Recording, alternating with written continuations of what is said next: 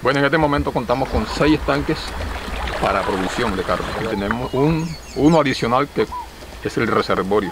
Estamos desarrollando este proyecto piscícola. Implementación de cultivos superintensivos de tilapia roja